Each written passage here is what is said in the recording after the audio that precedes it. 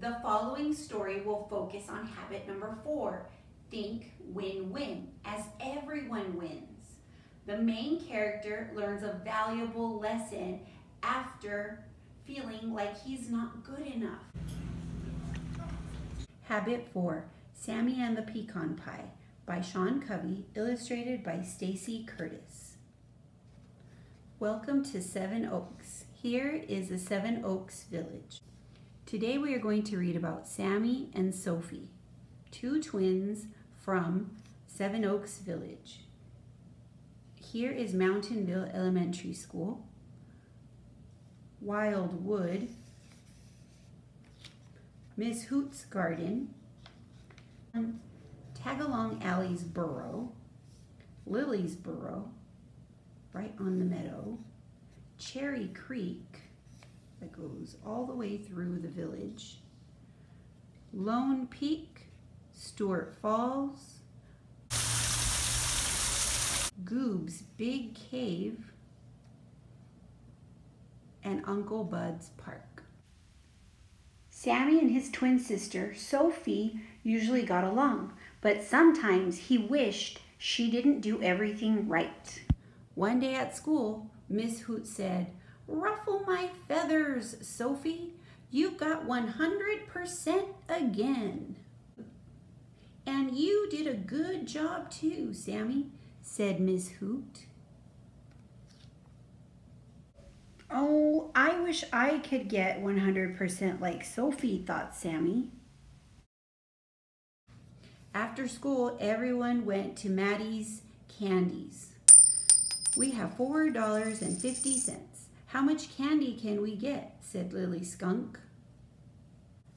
A lot, said Goob. We can get three bags of yummy gummies, two chocolate worms, and two lucky suckers, said Sophie. Wow, Sophie, you added that up fast, said Goob. Yeah, your brain must be huge, said Jumper. Like as big as a basketball. Geez, Sammy, what's it like to have such a smart sister? asked Tagalong Allie. I don't know, Sammy shrugged. I guess it's all right, he said as he headed home. He doesn't look very happy.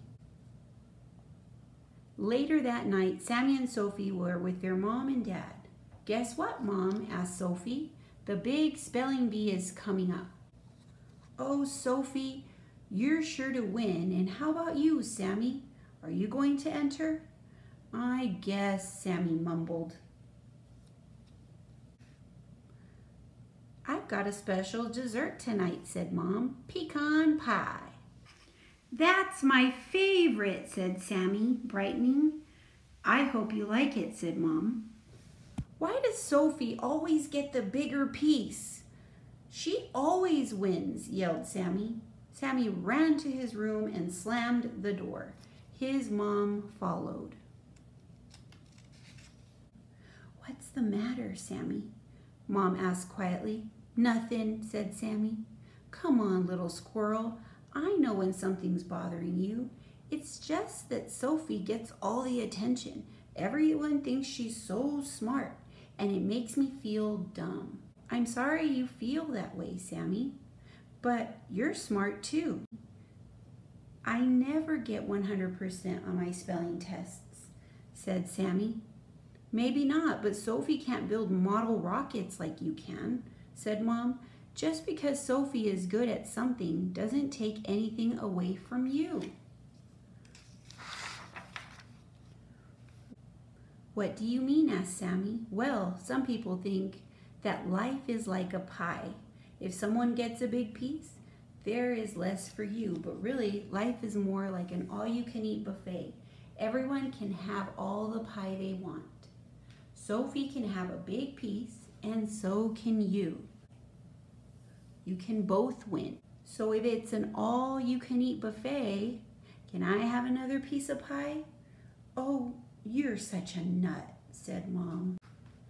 A few days later, it was time for the big science fair. Hey everyone, hollered Sophie. Come take a look at Sammy's booth. It's phenomenal. Thanks, Sophie, said Sammy. Yours is good too. Wow, Sophie, your guava is so bueny, said Tagalong Allie. Sammy blushed as Sophie beamed. Mountainville Elementary Science Fair. How to build a rocket. How to eat an apple. And there he is. He got first place. When a family member or a friend is doing better than you in some areas of their life that makes you feel like Sammy felt in this story, reframe and think about how fortunate you are to be a part of this family unit, friendship, partnership. This can actually help you in your journey to success. If you like this story, give it a thumbs up. All of my videos are designed with you in mind. My name is Miss Rios and this is Teacher Approved.